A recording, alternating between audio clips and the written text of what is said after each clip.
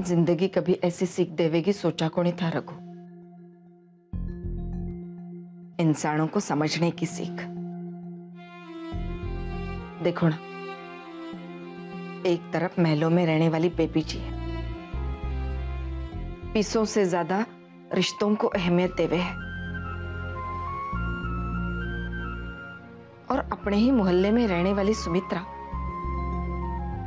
उसे ना कोई लाज है न लिहाज है। अपने अहंकार में डूबी हुई है। किसने सोचा था रघु, कि इतनी सीधी साधी दिखने वाली सुमित्रा हमारी ज़िंदगी को नरक बना देवेगी।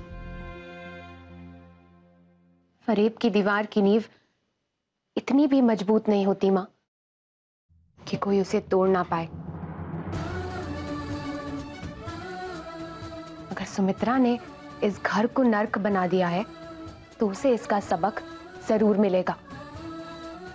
हमें उसे बताना होगा कि इस परिवार के लोग इतने कमज़ोर नहीं है कि उसके बुरे इरादों को पूरा होने दे। बिल्कुल राइट स्पीकिंग कर रही हैं आप, बेबी जी। सुमित्रा बहुत शातिर है। और हमने तो ट्राइंग भी किया था इस घर को वापस लेने का। लेकिन उसने हमें पकड़ लिया और हम हार गए। कोई बात नहीं माया। सिर्फ़ इस वजह से हम कोशिश करना नहीं छोड़ सकते ना। हम सब साथ हैं हम कोशिश करेंगे। मुझे पूरा यकीन है कि हम अपना घर वापस लेकर रहेंगे। तो बात तो चोखे कर रहा है रघु लेकिन हम करेंगे क्या?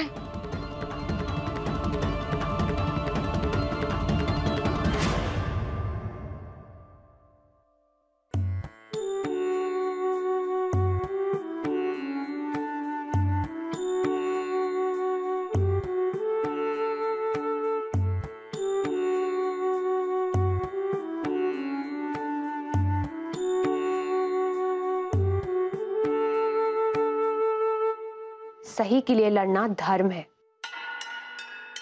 ऐसा तो भगवान कृष्ण ने गीता में भी कहा है माँ।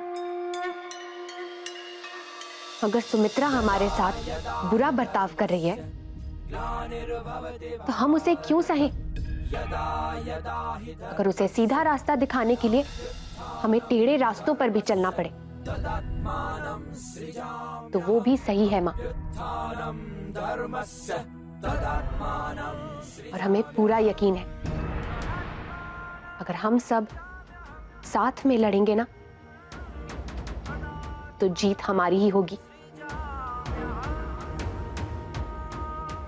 आप सब हैं ना हमारे साथ?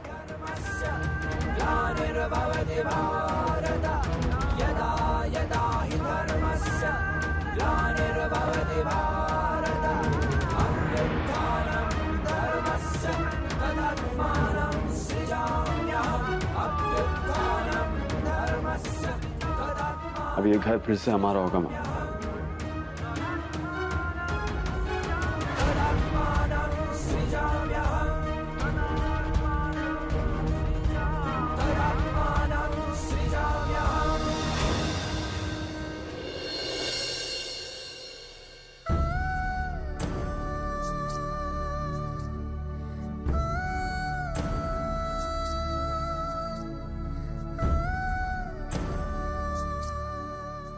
आपने दवाई ली?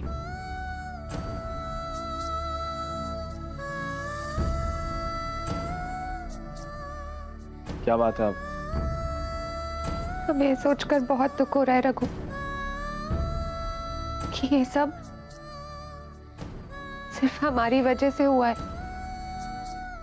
अगर हम बीमार ना पड़ते और हमारे इलाज के लिए तुम मुंबई ना जाते तो सुमित्रा ऐसा कभी नहीं कर पाती। आप कैसी बातें कर रही ये ये जो कुछ भी हुआ उसमें आपकी क्या गलती है? बताइए आपके हाथ में था ये सब? देखिए आप, इतना मत सोचिए। और वैसे भी जो भी हुआ अच्छा ही हुआ। सुमित्रा का असली चेहरा सामने तो आया सबके। वैसे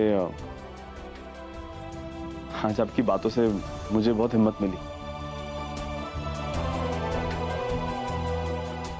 सच में? जी।